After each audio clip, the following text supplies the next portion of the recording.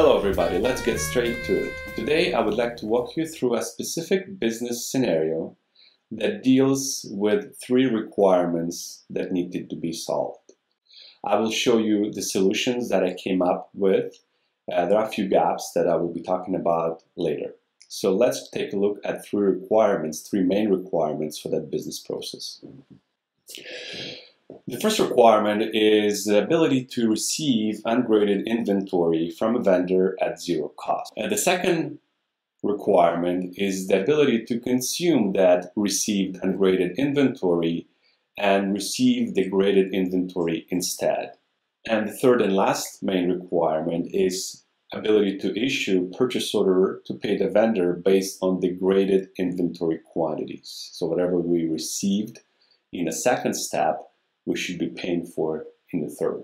So let's take a look at the first requirement. The first instinct here is to use consignment orders that are available standard in Dynamics 365. The issue with that approach is the item number that you add on the consignment order, order is the one that you will be paying for to your vendor. In our case, that is not applicable because we receive a graded inventory item, let's say item A, but we are paying for a number of graded inventory items, let's say items B, C, and D.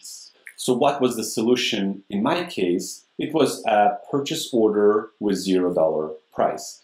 Very typical uh, solution prior to Dynamics 365 consignment orders. We can use an item that has a standard cost in a specific site at zero dollars, or we can make sure that every time we receive that item, we have a zero dollar purchase. We're gonna go and open our purchase orders. We will then create a new purchase order.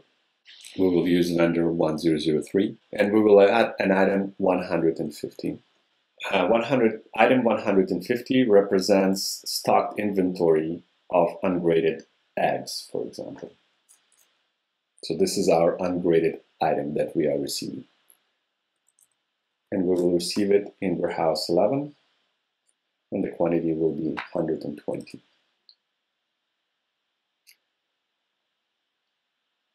We will go then and confirm that purchase order and post product receipt.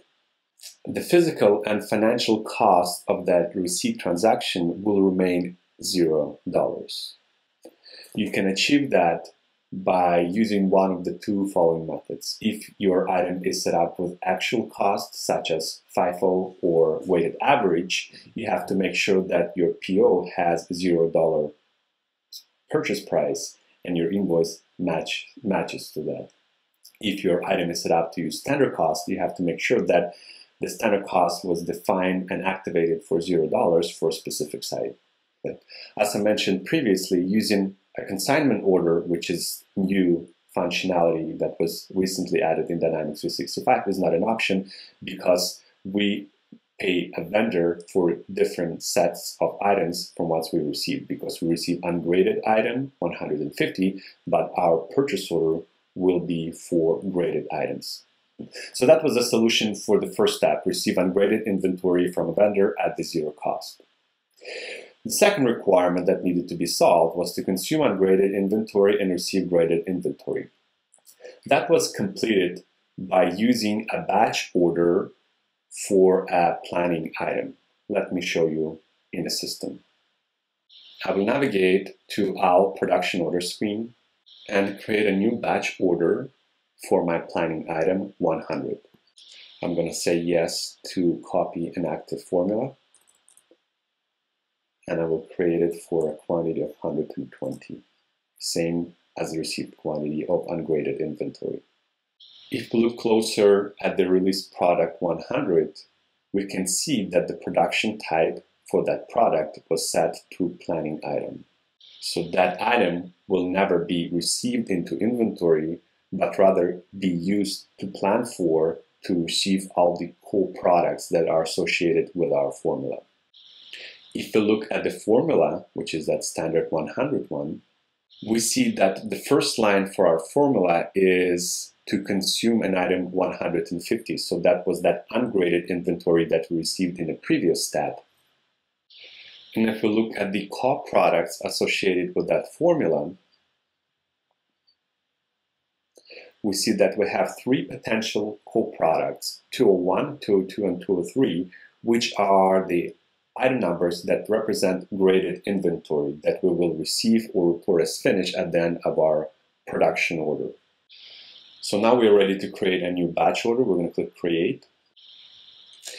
The new batch order has been created and I will quickly walk through an estimation step. I will then start the production order, which will consume my item 150, which will consume my ungraded inventory quantity. And then we will move on to the report as finished step. Because we created this batch order for a planning item, we see that we cannot report it as finished. Instead, we report as finished a certain quantity of our co-products, which represent our graded X. We received 120 ungraded X from our vendor. We consumed those 120 ungraded X whenever we started that batch order and posted a picking list journal for. And now when we are reporting that batch order as finished, it's time to for us to enter the quantities of finished co-products, which represent our graded X. So now we see that we have three possible X sizes. We have medium, large, and extra large sizes. And let's say we received, at, at the end of this grade out process, we received 60 uh, medium X, we received 50 large X, and we received 10 extra large X. And let's say there was no scrap, so there was no cracked X, so we basically had zero uh, quantity loss. In this case, once we enter those quantity, we're going to click OK to report our batch order as finished. So now our batch order is reported as finished. So that was the solution that we came up with for the second requirement, which would basically required us to consume ungraded inventory, so consumed 120 of ungraded eggs and receive graded inventory in our possession, which was basically 60, 50, and 10 of graded eggs of different sizes. Now, the third requirement was to issue purchase order to pay the vendor based on the graded inventory quantities. Remember, we received three egg types, uh, items 201, 202, and 203 into our inventory by means of reporting the batch order as finished. And now we need to issue a PO to pay for those quantities. The solution that I came up with was actually to create a subcontract purchase order uh, as the part of the uh, as, as a part of the formula. Let's take a look at it in the system. If you if you looked closely at our formula, we see that uh, instead of having just one item that represents our ungraded X, we also had three more line items that were set up as formula lines with type vendor. And we had a default vendor associated with them that actually matched to the vendor of uh, PO in our first step. We can see on the right hand side that we have one purchase order number that ends with 126, and that was for the vendor 1003, which was an eight supply company.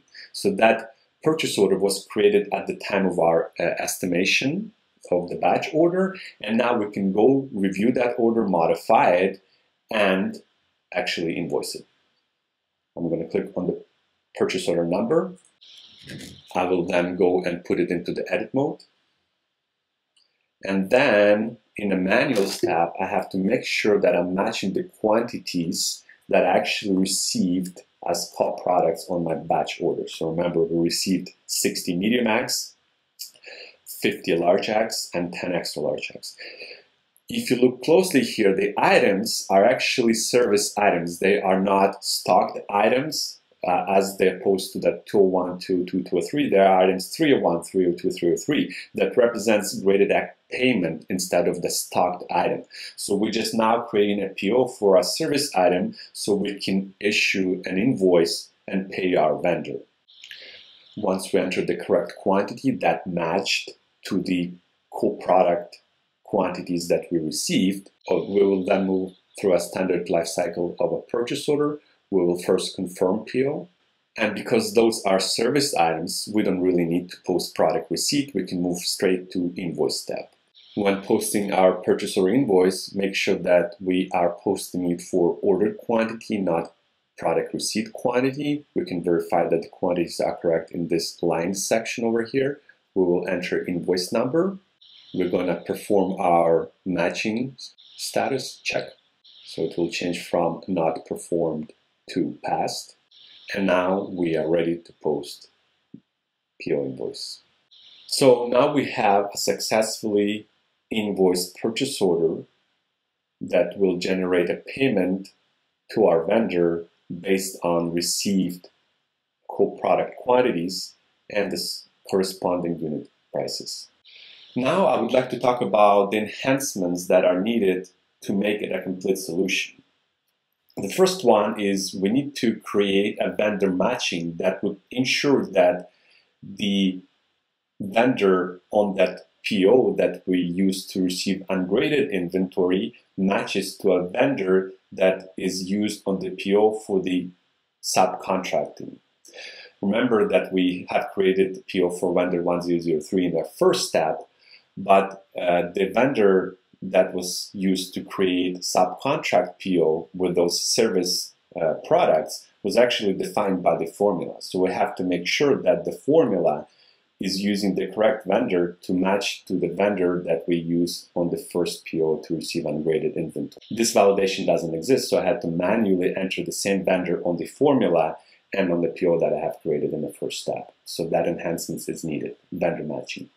The second enhancement that will be needed is to create some sort of validation on entered co-product quantities. If you remember, we consumed 120 ungraded eggs um, in our picking list for the uh, for the batch order.